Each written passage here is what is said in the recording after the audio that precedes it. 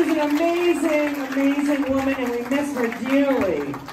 So let's give it up for daughter Haley and Janet Egan. are going to come out and accept the award.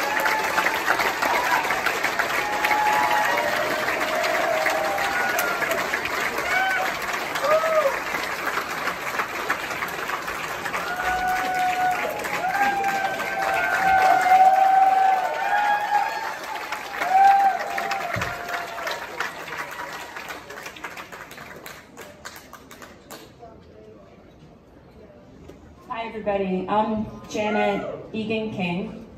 Uh, I was the bassist for Justine and the Unclean.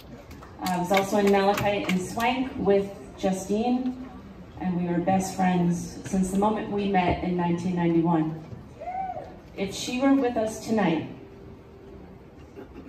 and God, we wish she was with us tonight, she would thank uh, Dave Minehan of Woolly Mammoth Studios Lou Mansdorf of Rumbar Records, Jay Allen and Tom Baker, her co-hosts for seven years at the Plough and Stars for the residency. Her bandmates Jim Janota and Charles Hanson, Johnny Shasha and Jimmy Scopa, Scopa.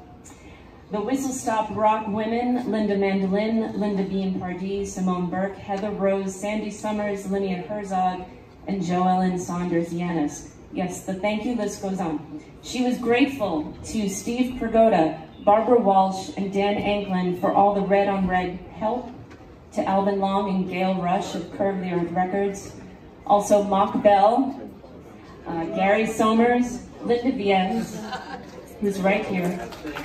She's a guiding light. Wayne Viennes, Andrea Gillis, thank you for the intro, Ed Reamer, Ted Overbaugh, and Stupidity, her favorite band from Sweden. Uh, Justine would also like to thank artists Crispin Wood and Stephen Fredette, Joan Hathaway and Duncan Wilder Johnson.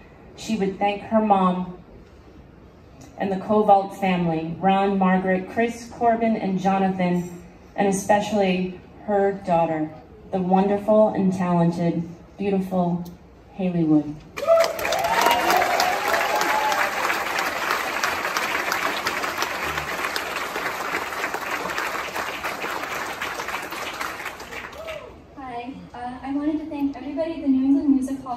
For this honor, especially Liz Borden for reaching out to me. I know that my mom would be utterly stoked to know that this is happening.